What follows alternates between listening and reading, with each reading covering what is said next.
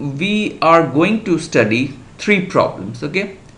So if you are given some points okay so p0 p1 is one segment and then you are given p0 p2 then you have to find that p0 p2 does it move counterclockwise respect to p0 p1 so if I have to reach from p0 p1 to p0 p2 which is nearer counterclockwise direction or clockwise which is much larger. So this you have to find.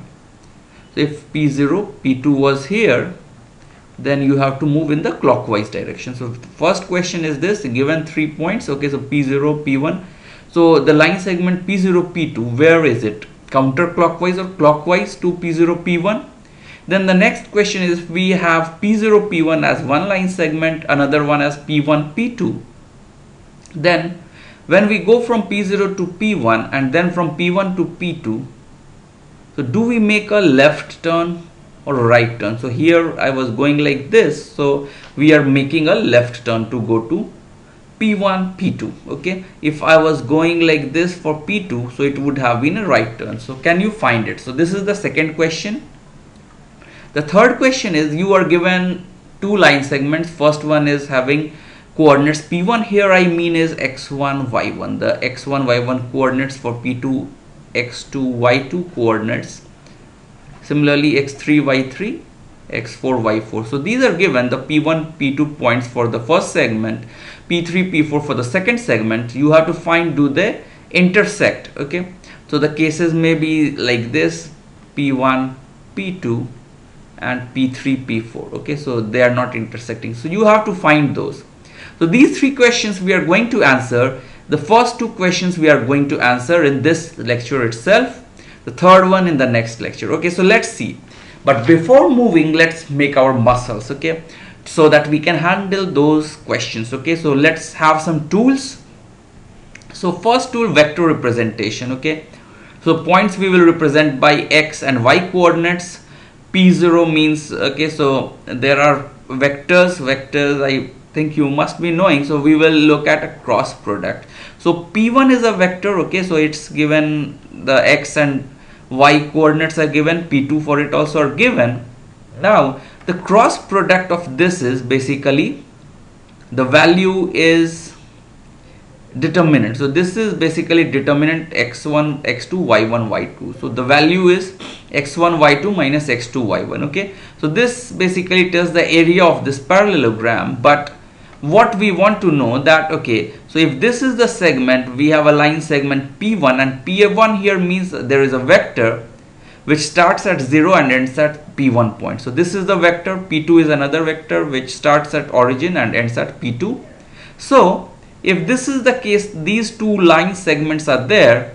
So is the line segment or vector p2 counterclockwise of p1 or clockwise? So if you find this cross product so if it is positive it means p1 is clockwise from p2 okay? So if it is positive it means p1 is clockwise from p2 and if p1 cross p2 is less than 0 it means p1 is counterclockwise. So this is there. And now let's say for line segments p0 p1 and p0 p2 so we have something like this. We have P0 P1 and P0 P2 so these are the line segments. Then we need to find okay so which is P0 P2 counterclockwise of P0 P1 and so on okay? So that's what we have to find. So let's try to see. So if I want to so here the problem is how to use the previous theory okay theorem that okay this of the cross product. So what I do we know about the origin. So let's shift the origin here and make it come to this point okay? So I shift the origin and it comes to now this place.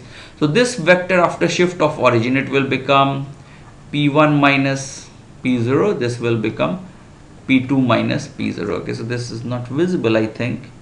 So this is the case p1 minus p0 and this is p2 minus p0 so now we can take the cross product. So the cross products for this angle is p2 counterclockwise of p1 and so on. So for that we have p1 in the new origin p1 minus p0 p2 dash is p2 minus p0 if you take their cross product so p1 minus p0 cross p2 minus p0 so it's x1 minus x0 is the x coordinate of this one in the new axis.